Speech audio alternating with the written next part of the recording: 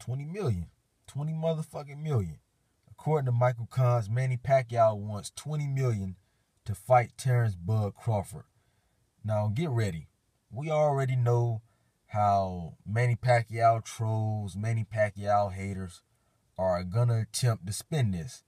They're gonna say Manny Pacquiao, he's afraid of the prime black fighter. He's afraid of black people, period. He's afraid of all black fighters. He's ducking Terence Crawford because he's black. That's how they're gonna try to spin this bullshit, which is total nonsense from dumb YouTube niggas, as usual.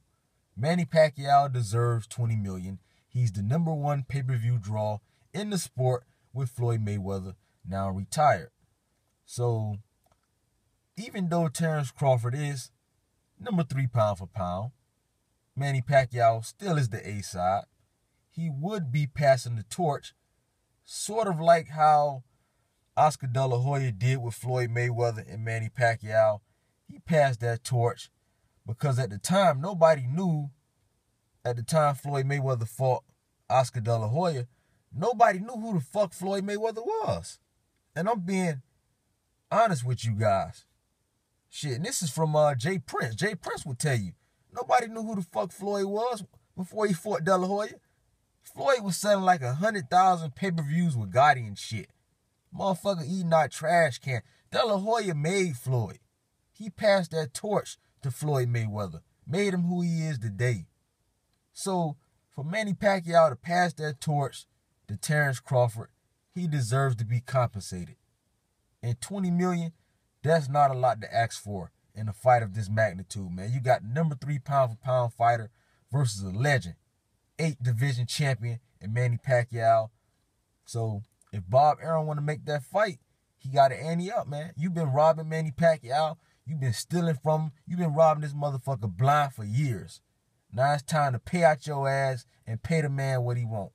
Either you pay him the 20 million or it ain't no ain't no motherfucking fight, motherfucker. Ain't shit. You want this motherfucker to take an ass whooping, a 38 year old to get in there with a 20 year old? You gotta pay. You gotta motherfucking pay. So I don't know if the fight gonna happen. Manny Pacquiao, he's requesting 20 million, which he deserves. So I don't know, man. I will keep you guys updated. Me personally, I want to see the fight. I'm a huge Terence Crawford fan. I'm a huge uh, Manny Pacquiao fan.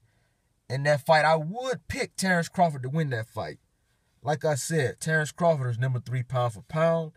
He does have youth on his side. He's a 20 year old fighter. He would be fighting a 38 year old Manny Pacquiao. Keep in mind, Manny Pacquiao was not in his prime anymore. He's he's way past his prime.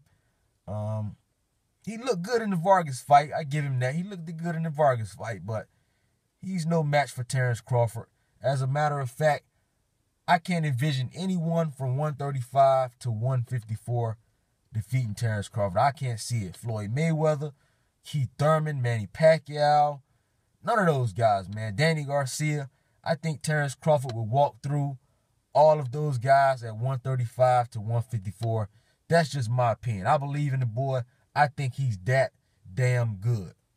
Terence Crawford is a special fighter. I believe he would outbox Manny Pacquiao. He was stick and move to an easy decision.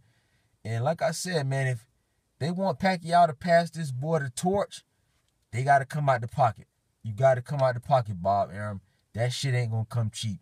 So uh, you guys let me know what y'all think. Manny Pacquiao versus Terence Crawford. Manny Pacquiao wants 20 million.